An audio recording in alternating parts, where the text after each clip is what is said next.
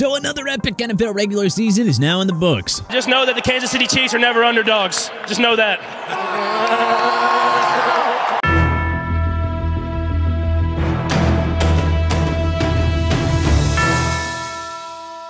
So, with the final order of the draft set, how about we dive into our post Super Bowl edition of the 2024 NFL First Round Mock Draft? Number 1, Chicago Bears, Caleb Williams. Justin Fields may develop into a superstar QB someday, but the Bears need to take the guy with higher upside. Drafting Williams also means the benefit of having a franchise signal caller on a rookie deal for the next five years. Get extra draft capital for Fields, then take the best QB available here in Williams. This should be a no-brainer for the Bears brass. Number 2. Washington Commanders, Drake Maye No team has an easier choice in the draft than the Commanders. Sit there and happily take whichever QB remains between Williams and the North Carolina signal caller. Maye's frame, arm, and dual threat style have drawn comparisons to the likes of Josh Allen and Justin Herbert. Yeah, something tells us a team in QB purgatory like the Commanders are going to want this kid. Number 3, New England Patriots, Marvin Harrison Jr.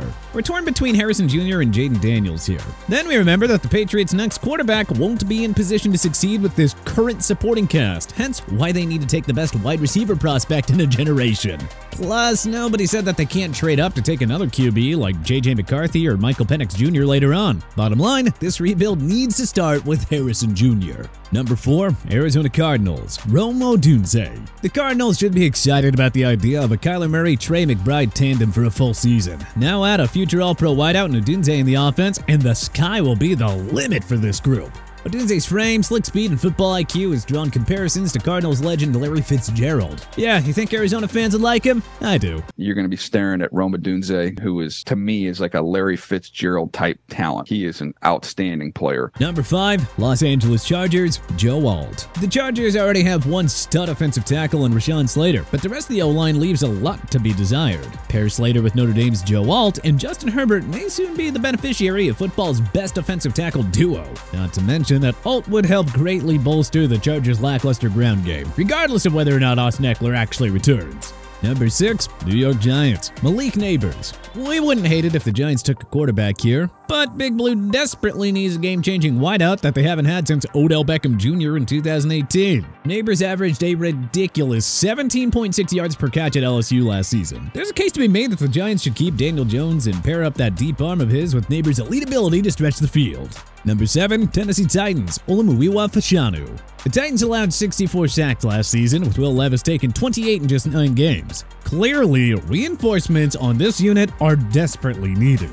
The Titans used their 2023 first rounder on Peter Skoronski, who had future All Pro written all over him. Now add a top two tackle from the 2024 class to the mix, and the Titans will have a super bright long term outlook in the trenches. Number 8, Atlanta Falcons, Jayden Daniels. What a dream scenario this would be for the Falcons. Daniels, Bijan Robinson, Tyler Allgeier, Drake London, and Kyle Pitts. Oh yeah, we're all game for that offensive nucleus. And Daniels' arrival would immediately make the Falcons the team to beat in the NFC South. Number 9, Chicago Bears, Dallas Turner. Having secured their new franchise QB at first overall, the Bears can now focus on addressing the defensive side of the ball. Montez Sweat proved to be a savvy trade deadline pickup for Ryan Poles. Adding Turner to the mix gives Chicago two five-star edge rushers that can take over a game at any given moment. Number 10, New York Jets, Taliese Fuaga. It took the Jets just a few minutes of Aaron Rodgers' debut to pay the price for neglecting the offensive line last offseason. Well, not this time. They have to take the best offensive lineman available in the draft, which is Oregon State's Taliese Fuaga. Number 11, Minnesota Vikings, Chop Robinson. Wouldn't be shocked if Minnesota eyed a quarterback here, but they're gonna need another pass rusher if Danielle Hunter departs in free agency. A do-it-all disruptor in the trenches like Robinson is tailor-made for Brian Flores' defense. Number 12, Denver Broncos, Brock Bowers. Bowers has been widely graded as a top 5 prospect in this draft, but as everyone knows, teams are rarely prioritizing tight ends early in the draft, so take your pick on where the Georgia product actually lands. Denver, however, could especially use Bowers' explosive game-changing skills. They haven't had a 1,000 yard receiver or rusher since 2019. Number 13, Las Vegas Raiders, Laiatu Latu. The Raiders already have Maxx Crosby and hope that 2023 first rounder Tyree Wilson will emerge as a superstar as well. A defense first coach like Antonio Pierce will love Latu's character and tireless work ethic as a run stopper and dynamic pass rusher. Number 14, New Orleans Saints, Bo Nix. This would be perfect for the Saints. Nix isn't quite NFL ready, but there's no harm in sitting behind Derek Carr for a year or two before taking over the reins yourself. With no other clear-cut weaknesses on the roster, the Saints can afford to prioritize the future here. Number 15, Indianapolis Colts, Cooper DeJean. The Colts had the 24th ranked pass defense last year, and that was a key reason as to why they just missed out on a postseason berth. Well, the solution's easy here. Taking the top cornerback on the board. In this exercise, it's Iowa product Cooper DeJean, who racked up 13 pass defenses and 7 interceptions over his final two seasons of college ball. Number 16, Seattle Seahawks, Jer'Zhan Newton.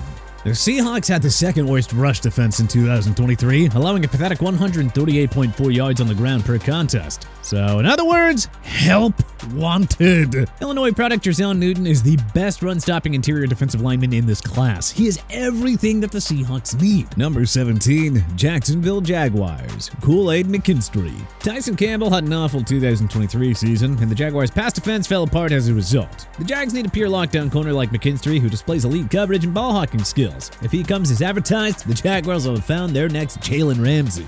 Number 18, Cincinnati Bengals, Jared Verse. Trey Hendrickson is among the game's elite edge rushers already, but just imagine how much scarier this defense would actually be with Verse in the fold. The Florida State product had 9 sacks last season and would automatically excel in a defense that doesn't have to blitz to create constant pressure.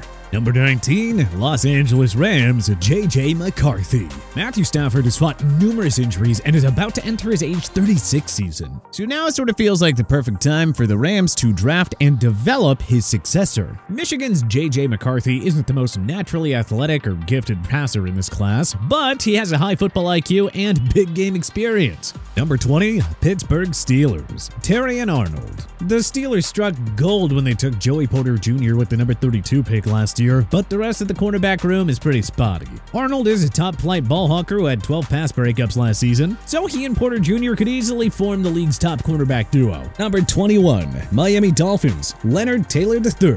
Injuries to Bradley Chubb and Jaelan Phillips were painful reminders to Miami that defensive line depth is all too important in today's NFL. How about the hulking 305 pound Miami Hurricane star Leonard Taylor III, one of the top run defenders in this draft? Number 22, Philadelphia Eagles, Nate Wiggins. The Eagles secondary went from a strength in 2022 to absolutely unwatchable in 2023. Vic Fangio was a great hire at DC and all, but there is no way that that unit will improve with the same personnel. Clemson corner Nate Wiggins would inject some much needed youth, extra speed, and athleticism on an aging Philadelphia defense. Number 23, Houston Texans from Cleveland Browns, Bralen Trice. Houston hit a home run last year by trading up into the number 3 spot for Will Anderson Jr. That young man has future superstar written all over him. But just imagine how much scarier this defense would get with Trice lining up with Anderson. Trice had 17 sacks over his final two years in Washington. This big game experience would mesh nicely on an up-and-coming Houston team looking to compete now. Number 24, Dallas Cowboys, Troy Fautanu. With Tyron Smith nearing the end of his career, the Cowboys need to think long term on the offensive line. They already have one young cornerstone on that unit in Tyler Smith, so adding Fautanu would have Dallas set up well in the trenches with Tyron and Zach Martin getting up there in age now. Number 25, Green Bay Packers, J.C. Latham. It just feels like the Packers will cut ties with the injury-prone and past his prime tackle David Bakhtiari. If that ends up happening, taking an offensive tackle is a no-brainer for GM Brian Gutekunst. And it'd be a big-time win for the Pack if Alabama star J.C. Latham fell to them in the 25th spot. Number 26, Tampa Bay Buccaneers, Quinyon Mitchell. The Bucs secondary was uh, surprisingly the weak link in 2023, despite the presences of Jamel Dean, Carlton Davis, and pending free agent Antoine Winfield Jr. Toledo's Quinyon Mitchell, who racked up 37 pass defenses over his last two seasons at college, would fit perfectly in Todd Bowles' aggressive and opportunistic defense. Number 27, Arizona Cardinals from Houston Texans, Amarius Mims. Arizona used its 2024 first round pick on Paris Johnson Jr., who had an uneven rookie year. So taking Georgia's Amarius Mims here would suddenly give Arizona two potential franchise building blocks on the O line. Mims is a plug and play guy who would immediately make life easier for Kyler Murray. Number 28, Buffalo Bills, Keon Coleman. We swear, if the Bills don't actually commit to finding a capable number two wide receiver to help out Josh Allen and Stefon Diggs this offseason, uh, well, if the Bills don't make a splash in free agency or the trade market, the pick has to be the top remaining wideout on the board here. Coleman and Diggs would be a nightmare of a tandem for opposing defenses. Number 29, Detroit Lions, Ennis Rakestraw Jr. If the Lions had a better secondary, they wouldn't have blown that 17-point lead to the San Francisco 49ers in the NFC Championship game. Just saying. So, with no other real weaknesses on the roster, the Lions have to go with defensive back here. Missouri's Ennis Rakestraw Jr. is a grade A cover corner whose low INT totals shouldn't fool you. Opposing quarterbacks are just too smart to not throw in his direction. Number 30, Baltimore Ravens, Brian Thomas Jr. The Ravens hit the jackpot when they used their 2023 first round pick on Zay Flowers, but more receiving help is definitely needed for the AFC runner ups. The 6'4, 205 pound Thomas Jr. averaged 17.3 yards per catch and had 17 touchdowns in his final year at LSU. His ability to stretch the field and produce in the red zone will make Thomas the ideal complement to Flowers. Number 31, San Francisco 49ers, Kamren Kinchens. The 49ers secondary was, surprisingly, the main weak link during the regular season. Losing Talanoa Hufanga late in the season to an injury didn't help matters, and his absence further emphasized the 49ers' lack of defensive back depth. Miami safety Kamren Kinchens would immediately take care of that. Kinchens and Hufanga could easily form football's top safety tandem. Number 32, Kansas City Chiefs Adonai Mitchell. Like Baltimore with Flowers, the Chiefs found a stud wide receiver in last year's draft with Rashee Rice.